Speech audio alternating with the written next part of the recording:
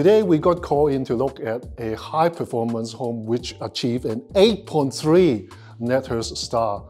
It's supposed to be a top-notch, top-of-the-line home, but the homeowner has a bit of comfort issue with this home. He called us in to investigate what causes it. Ethan, you've been with us for more than two years now. When it talks about uncomfortable home, what are the few issues that you come up in mind? So the first thing I would think of is uh, air leakage. If the home is, is leaky, then it can't retain heat as well as a more airtight home. And secondly, it would just be uh, insulation installation. If the insulation is not butted to your airtight membrane, it can't retain heat as uh, a home that is uh, well installed with insulation.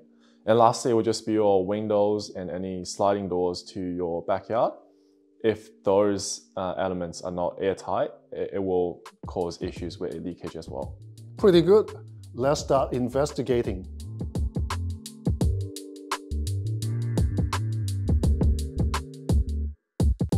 Okay, after checking the air leakage, we are going to look through the building envelope to see how consistent the insulation is being installed. Let's have a look.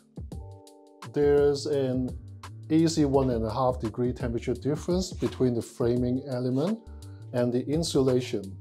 This is a hallmark of steel frame construction and you can see especially at the corner where you got maximum surface area to lose heat to the outside, the temperature drops a lot cooler than the other more typical steel elements.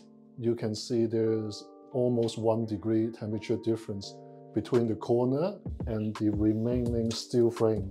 As we can see, the further closer to the indoor, the warmer the steel studs are. This is an indication of quite bad thermal bridging through this steel frame element. But on the flip side, the consistency of the insulation bed installation is pretty good. There's not much color variance between different portions, which is a good sign of pretty decent installation workmanship. Ah, what do you see there, Ethan? Uh, so what I'm saying is uh, the floor temperature, you can see at the top there, it's uh, 16 degrees. But when I moved over to the living room, it jumped up to 17.7 degrees. It looks like there's a very localized problem for that room in particular. Yeah, definitely. Do you have any idea why it happened? Uh, so that that room below is actually an overhang that is also adjoining a car park. That could be uh, either insulation missing there or just air leakage problems.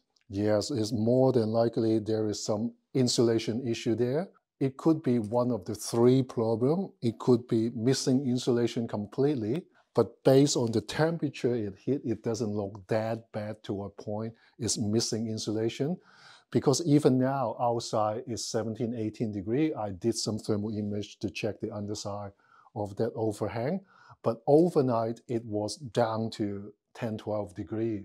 So it could be the thermal loose overnight and it keeps the temperature when we start early this morning, it was at around 14 degree.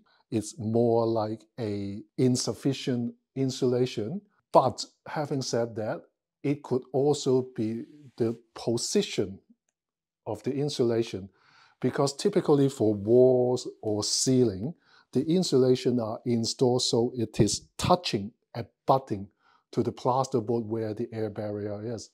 But in these type of underfloor insulation system, more than likely the installation method used in Melbourne, Victoria, they put straps between the steel element. The insulation is just sitting on those straps. That means between the floorboard and the insulation, there could be 50 up to 100 mil air gap and think about it because no one is sealing the outside of that overhang soffit. Air can circulate around the insulation, which greatly reduce the performance of that insulation bed. And that is something if the NatHERS people watch this video, they should consider how to include that kind of options in their software. They've been doing very well in terms of the wall and the roof and the ceiling insulation, but the underfloor, there is still a fair bit of improvement that they can implement, graduate over time. I know they are very busy, but consider this. We're just looking at the skylight of the building, and you can just say there's basically no insulation around this cavity. Uh, normally, when the, it, it is ceiling insulation, it sits on top of ceiling, but like such a cavity with vertical walls, they just don't insulate it. We're now looking at the split unit. Uh, you can see on top of the split unit, there's just missing insulation all around from the wall to the ceiling.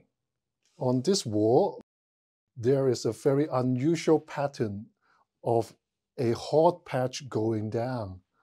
Initially, when I see it, I thought, is that some kind of water leak because the shape or the pattern looks like water leak? But and then when I move up further, there is a clear line going across and connecting to the split unit. After having a chat with the homeowner, we find out this home is using multi-head system, which means there's a large outdoor unit running multiple rooms. And they typically run long refrigerant pipes.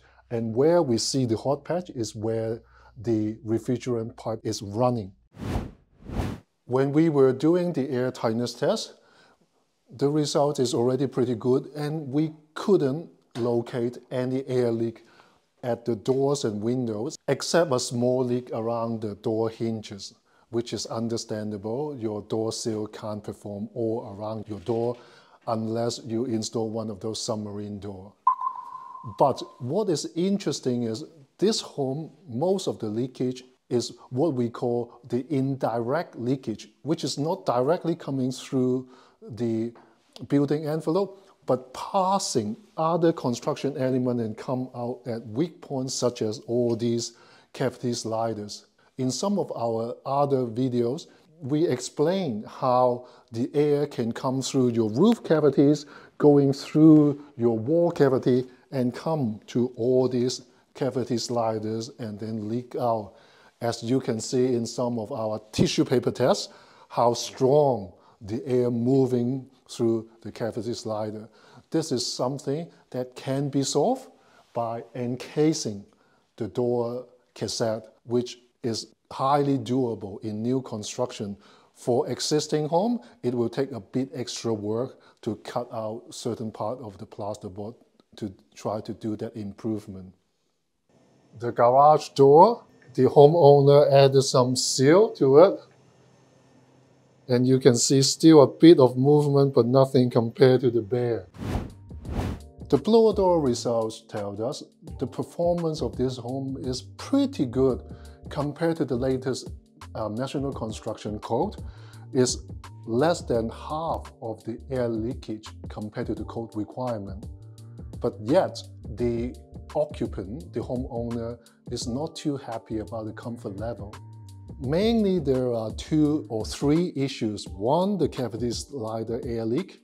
Number two, the insufficient thermal insulation at the overhang portion of the front of the house.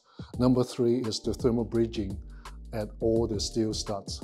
If you don't keep your heating system running, those thermal bridge can bring the surface temperature of your plasterboard below the drill point temperature which is when the air start to condense into water. If that happen, you will have a lot of damage to the plasterboard, mold growth, shadowing on your wall, which none of this you want. The NatHERS modeling already show if you warm your house, run your heating, you won't be spending too much